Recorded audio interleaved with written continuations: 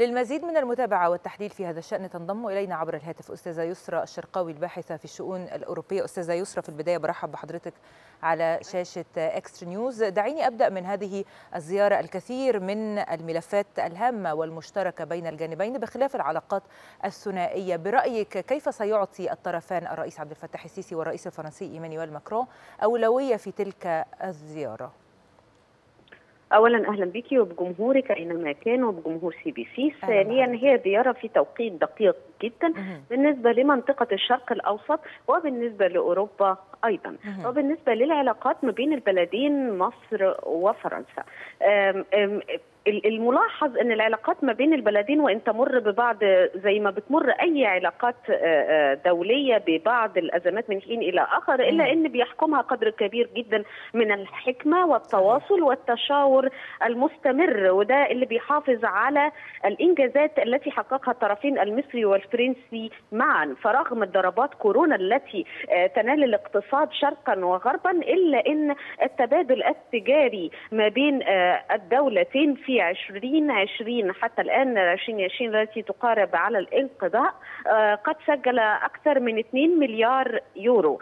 حجم الاستثمارات المباشرة من الجانب الفرنسي في قطاعات مصرية بلغ ستة, ستة مليارات. بنتكلم عن قطاعات متعددة وحيوية ومهمة بالنسبة لعملية التنمية التي تخوضها الدولة المصرية حاليا وخاصة ما يتعلق بقطاعي البنية التحتية وقطاع الاتصالات. ده من نعم أستاذة يسرا يعني يعني أريد أن أتحدث مع حضرتك باستفاضة أكثر فيما يتعلق بالجانب التجاري والاستثمارات المختلفة بين البلدين. نحن نتحدث عن أكثر من 160 شركة مستثمرة فرنسية في مصر. ولكن قبل الحديث عن الجانب الاقتصادي دعيني ألقي معك مزيد من الضوء فيما يتعلق بالجانب السياسي والعلاقات الثنائية بين البلدين. يمكن في تصريحات سابقة للرئيس الفرنسي إيمانويل ماكرون تحدث عن أن مصر شريك أساسي فيما يتعلق بالملفات الخاصة بالمنطقة الملف اللبناني له باع طويل ويمكن توافق في الرؤى من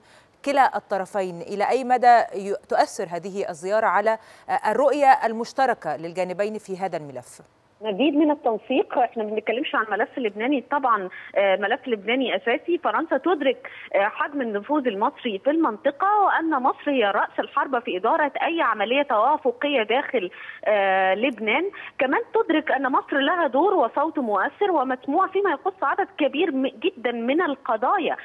فنعدد وهذا على سبيل المثال وليس الحصر التهديد التركي في شرق المتوسط وأيضا ما يتعلق بمستقبل مستقبل الاتحاد الأوروبي بعد الرحيل المتأزم والمأزوم لبريطانيا من عضويته الاتحاد الأوروبي بالمنطقة فرنسا قيادة صاعدة وتحتاج إلى التواصل بشكل افضل مع نقاط وركائز القوة في منطقة الشرق الأوسط. وعند ذكر ركائز القوة سواء فيما يخص بالأزمة اللبنانية سواء فيما يخص بالشأن الليبي وفرنسا أيضا لها باع كبير جدا في هذا الشأن.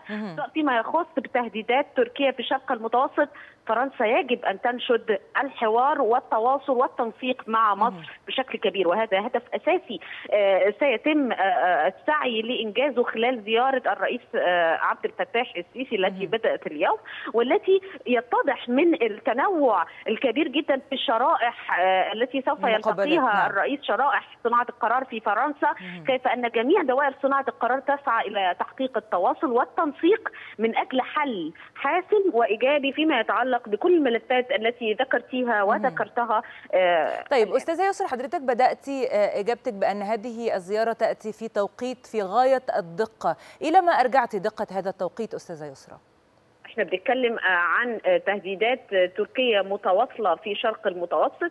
بنتكلم عن أزمة لبنانية ما زالت في محاولة إلى الحل والانفراج. فكمان فرنسا بعد أزمة عابرة ليست عابرة ولكن تم التعامل معها بذكاء شديد من جانب القيادة المصرية مع دول الشرق الأوسط والعالم الإسلامي. بتحاول أن تستعيد أيضا التواصل بشكل إيجابي مع هذه الدول لهذه الأسباب كلها أيضا. كمان إحنا بنختتم 2020 بكل ما له وما عليه كما يقال دوما وابدا على الجانب السياسي والاقتصادي وفيما يخص من ظلال أزمة كورونا مستجد لهذا وجب التواصل مع مصر ووجب توجيه دعوة إلى الرئيس عبد الفتاح السيسي من أجل التنسيق في خصوص هذه الملفات لما يلي. طيب أستاذة يسرا حضرتك أيضا تحدثتي عن الشق الاقتصادي. يمكن خلال قمة سابقة جمعت الرئيسين وتحديدا نحو قبل عامين كان الرئيسان قد اتفقا على التوصل أو ضرورة إعطاء دفعة قوية للملف الاقتصادي حجم التبادل التجاري بين البلدين. أيضا حجم الاستثمارات بين البلدين ماذا تغير منذ عامين حتى هذه القمة الثانية؟ الحقيقي أن التغير كان إيجابي في هذا الشأن تحديدا. إحنا بنتكلم عن ارتفاع ملحوظ طبعا لسه البيانات الختامية ل 2020 لكن بنتكلم عن ارتفاع ملحوظ زاد عن 30% في حجم التبادل التجاري بين عامي 2019 و 2018 دي نقطة. بنتكلم أيضا عن تعاون قوي جدا فيما يخص عملية التطوير التي تشهدها مصر عسكريا. بنتكلم عن برامج تسليحية جديدة معروف لفرنسا دور كبير في إنها بتحاول أن تستجيب للرؤية التقدمية والتطويرية التي تنتهجها الدولة المصرية في هذا الخصوص وفرنسا لاعب أساسي. نعم. تطور كبير تحقق على هذا الجانب.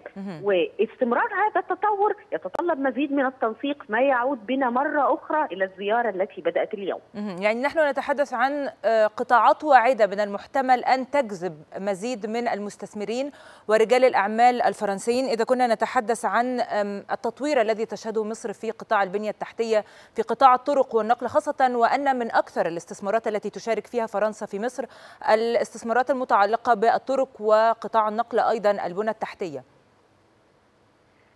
إحنا بنتكلم عن ده وبنتكلم كمان عن أمر آخر. ليس يعني اسمحي لي إن أنا أصحح تعبير حضرتك ذكرتيه. قلتي إنها واعدة وقد تحتمل. هي ليست فقط واعدة وقد تحتمل بل هي يعني الثمار بدأنا أن نجنيها بالفعل وهي في سبيلها إلى مزيد من التطوير. لا ننسى أيضا التعاون الثقافي والتعليمي بين الجانبين. فرنسا أرسلت منذ أيام فرانسوا سيمون فوتي الخبير في مجال تصنيع الساعات وده بحث امكانيه تصليح الساعة الموجودة بقلعة محمد علي وهي في الواقع كانت هدية قديمة من فرنسا إلى مصر في نهايات القرن عفوا في منتصف القرن التاسع عشر. تعاون بيأخذ عدد جديد كبير جدا من القطاعات عدد كب... يعني ألوان الطيف كله وبنأمل والجانبين بيأملوا أن يستمر حتى وإن وقع بين الحين والآخر شيء من العواقب.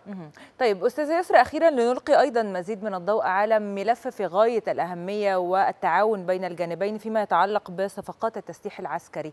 الكثير طبعا. يقول أن هذا الملف تحديدا يمثل رأس الحربه للعلاقات المصرية الفرنسية. إلى أي مدى تجدي يعني ربما دقة في هذا الوصف؟ تمام.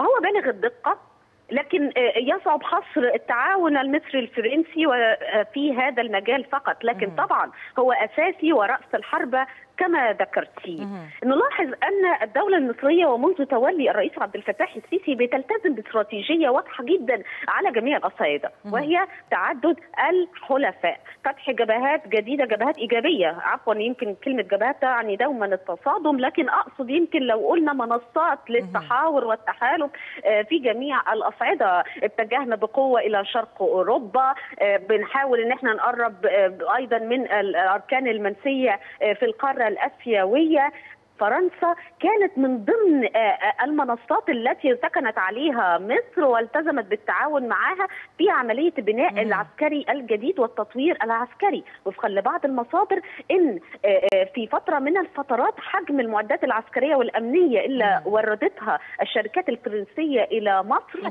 تجاوز المليار أو اقترب عفوا من مبلغ المليار ونصف يورو. وإن فرنسا أصبحت مورد أساسي لقطاعات المختلفة بالقوات المسلحة المصرية سواء فيما يخص القطاع البحري بالصحف بالسفن الحربية أو المقاتلات أو العربات المدرعة. مصر تسعى إلى تنوع وتعددية مصادر تسليحها. استراتيجية ذكية جدا استراتيجية التزمتها الدولة في علاقتها مع العالم الخارجي سياسيا اقتصاديا وتسليحيا منذ اليوم الأول. وفرنسا من ضمن اللاعبين الأساسيين اللي استهدفتهم مصر وقد لبت النداء باجاده نعم أستاذة يسرى شرقاوي الباحثة في الشؤون الأوروبية أنا بشكر بشكر حضرتك جزيل الشكر على كل هذه الإيضاحات والمعلومات.